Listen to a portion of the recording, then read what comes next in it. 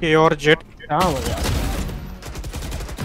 On right on right Standing. आगे side आगे close आगे तेरे। अरे nice alt alt come on. मैंने Ten seconds left. कर दे अल्टीमेट हो गया पैच कर कर कर। नहीं नहीं नहीं। पीछे पीछे। हो गई। अरे भाई सिक्स मैन एट के साथ खत्म किया इसने गेम